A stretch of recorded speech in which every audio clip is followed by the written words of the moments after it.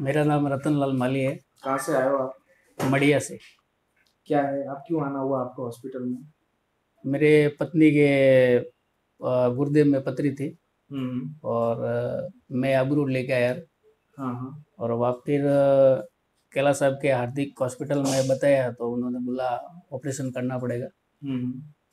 तो फिर ऑपरेशन किया और पहले से आपको पता था पथरी है कि यहाँ आके पता चला? यहाँ आके पता चला। कि पथरी है करके। फिर ऑपरेशन कर दिया। ऑपरेशन कर दिया। कौन सी टेक्निक से करा? ओपन करा है कि दूरबीन से करा? दूरबीन से करा और ऑपरेशन कैसा हुआ? ऑपरेशन बढ़िया नॉर्मल हुआ। पथरी दिखाई गई थी? दिखाई गई पथरी। आप संतुष्ट पथरी मेरे पास में ही है और ऑपरेशन से संतुष्ट है। ठीक है। अभी मरीज़ को कोई दिक्कत है? नहीं अभी कोई दिक्कत नहीं है खास तो अभी। हम्म, थोड़ी बहुत नॉर्मल होने में टाइम तो थोड़ा लगता ही है। ठीक है। संतुष्ट है आप संतुष्ट है। स्टाफ वगैरह सब यहाँ पे? संतुष्ट है एकदम स्टाफ से भी। और और- आप जिस रूम में रहे थे उसकी सफ़ाई वगैरह? बिल्कुल एकदम साफ़ सुथरा है और एकदम सफ़ाई वगैरह सब व्यवस्थित है। और टोटल आपका अनुभव हॉस्पिटल में? टोटल अनुभव हमारा यही रहा है कि एकदम हॉस्पिटल साफ़ सुथरा है और कभी भी अ, कोई भी है तो यहाँ आए तो इलाज भी सही होता है और एकदम साफ़ सुथरा काम है।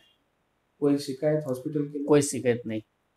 साफ़ सुथरा काम है तो कोई शिकायत का कोई प्रश्न ही नहीं आता है। 아!